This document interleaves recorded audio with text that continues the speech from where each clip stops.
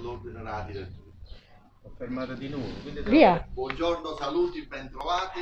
Oggi, 27 giugno 2021, domenica mattina, ad Amalfi si celebra Sant'Andrea.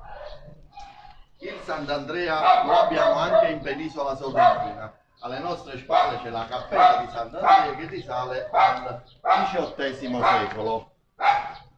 All'interno c'è una bellissima pala d'altare. Abbiamo messo il permesso a Donna Rosaria, che è la custode di questa chiesa, di poterlo vedere e rivederle ancora, perché quello che sembra oggi un vicoletto. Grazie Donna Rosaria, siete sempre cortesemente gentili che ci aprite le porte, ma il nostro dovere è quello di mostrare è quello di mostrare il vostro lavoro, una chiesetta cappellina sistemata e tenuta linda e pinta. Ma perché sta qua questa cappella di Sant'Andrea, questa chiesa di Sant'Andrea? Quello che a oggi sembra un vicoletto è la viabilità urbana del basso medioevo, alla fine del 400, agli inizi del 500. Da qui si passava per andare ad Amalfi.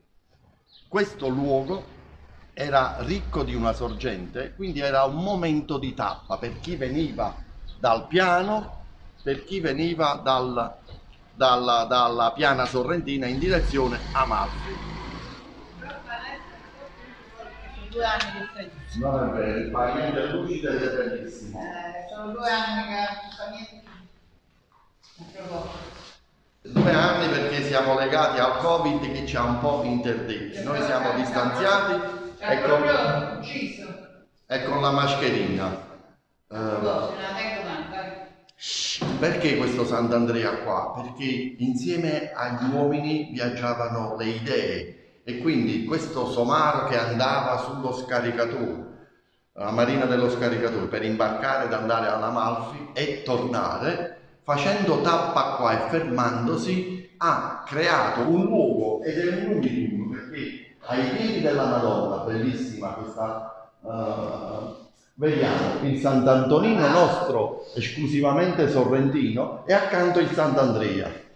Sorrento e Amalfi insieme, i due santi patroni, ci portano in un'atmosfera medievale perché sia Amalfi che Sorrento erano, erano ducati, quindi questo abbracciarsi e adorare la stessa Madonna è una comunanza. O un manifesto politico che vuole accomunare intenti ed idee.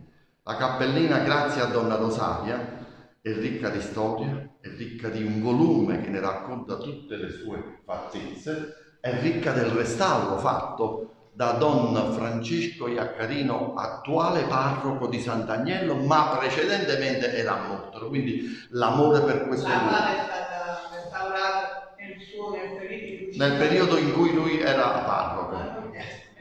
Donna Rosaria ci mantiene questo pavimento sempre lucido. Oggi si sta lamentando come quella signora in cui lo abbiamo visitato improvvisamente per dire la chiesa è impolverata, ma noi vediamo dei marmi bellissimi, è un pavimento lucido,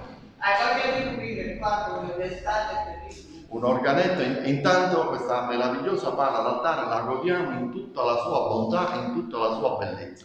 Dalla croce di Sant'Andrea pende un pesce, lo vedete? Mhm. In questa giornata gli amalfitani ringraziano il loro patrone per averlo protetto da che cosa sa? L'invasione di Barbarossa. Dall'invasione dei Saraceni e vanno a ringraziare. una grandissima tempesta che li allontanò La dalle cose. tempesta allontanò i Saraceni dall'assalto di Amalfi. In questa giornata loro li ringraziavano nei tempi passati con le spaselle di amici di, di pesce buttati nella chiesa.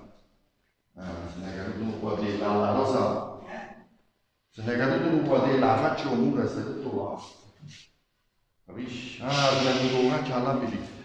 Eh, e quindi questa è una giornata, è una festa, diciamo così, non secondaria, ma è la festività Estiva. Stasera ci collegheremo con il nostro pubblico di Positano News da Amalfi perché il santo, il busto argenteo, uscirà per l'atrio, non per la processione, perché ancora in questa coda di emergenza Covid, in questa coda di emergenza Covid non